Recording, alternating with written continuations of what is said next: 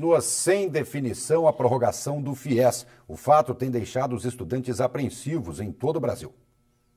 Cristiane está no segundo semestre do curso de Direito. Bolsista do FIES, ela precisou fazer o aditamento, que é quando é renovado o contrato.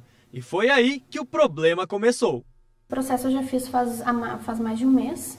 Uh, quando eu tentei fazer o aditamento, o site estava bem lento. Uh, eu tive que fazer inúmeros acessos até as instruções que as próprias meninas do financiamento me passaram era que eu acessasse pela madrugada, que o, processo iria estar mais, mais prático. Quando eu consegui fazer o meu aditamento, ele constou para mim como sendo simplificado. O meu outro adiantamento que eu tinha feito no semestre passado tinha dado não simplificado. E eu fiquei meio na dúvida, eu resolvi ligar para a Fevale. A partir do momento que eu liguei para a Fevale para as meninas do financiamento, elas me passaram que eu ainda não tinha feito a minha, a minha contratação desse semestre. E foi aí que a gente entrou num, num conflito, porque para mim, dentro do site do FIES, lá no CISFIES, aparece como meu adiantamento tendo sido simplificado.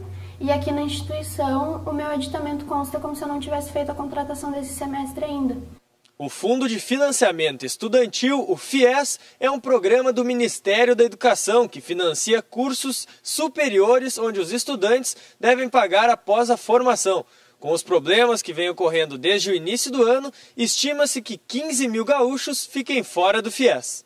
Um levantamento da plataforma FIES divulgado pelo MEC na segunda-feira revelou que houve uma queda de quase 50% na quantidade de novos contratos firmados entre o primeiro semestre de 2014 e o primeiro semestre de 2015. Neste ano, cerca de 500 mil estudantes buscaram o programa para tentar financiar um curso de ensino superior. Os alunos estão sendo prejudicados. Você imagina que esses alunos que solicitaram, que esperam receber e que não vão receber, provavelmente vão ter que parar de estudar. Ou as universidades vão ter que buscar outras alternativas. E, e eu acho que o governo que tem aí uma um slogan que é padre educador, ele devia estar um pouco mais preocupado com essa questão da educação. Né? Eu acho que as pessoas começavam a ter mais acesso à educação. Eu acho que isso era importante, estava um movimento importante. E isso dá uma freada nesse contexto. O ministro da Educação, Renato Janine Ribeiro, afirmou que os 252 mil contratos consumiram toda a verba do FIES para novos financiamentos em 2015, equivalente a 2 bilhões e meio de reais.